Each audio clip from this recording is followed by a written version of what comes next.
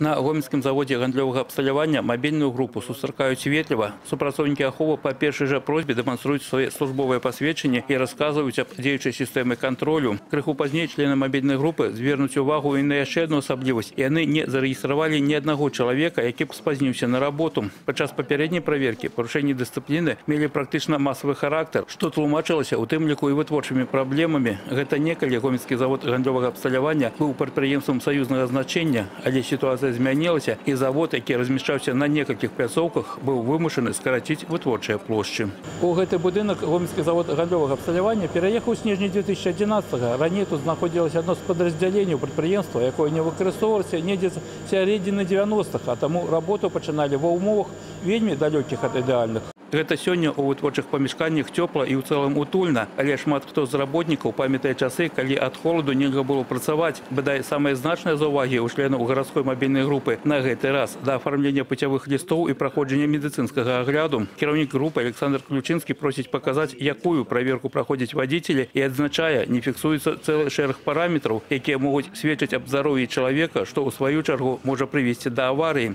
І яшчэ адзін момант, на які звяртае ўвагу мабільная група. Пры наяўнасці тэстаў для праверкі ў арганізму наркотычных рэчываў за апошні год імі не скарысталіся ні аднаго разу. Дайте полосочку, раз, раз, вот результат какой, на мой взгляд, что, значит, если дадут раз в неделю, количество людей, сколько будет знать.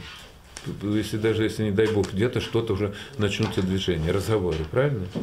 Согласны? Разговоры, да, конечно, опасаться, бояться. Праблема гомельскага завода гандлёвага абсталявання выклікана ў першую чаргу сітуацыя з неплацяжамі. Сёння партнёры запазычылі прадпрыемству суму супраўнальную з трохмесячным аб'ёмам вырабляемай прадукцыі. І аб гэтым падчас наведвання завода мабільнай групай таксама ідзе размова. диверсифицируем свое производство и свой сбыт.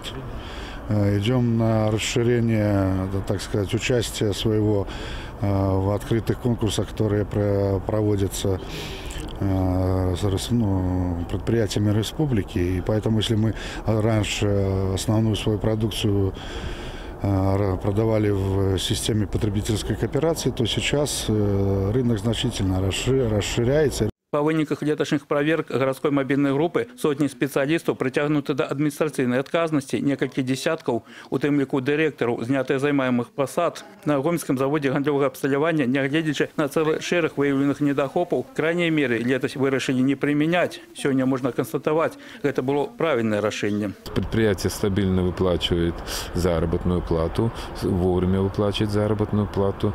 Э, Со слов руководства предприятия э, есть наметки на то, что оно в дальнейшем будет э, работать стабильно.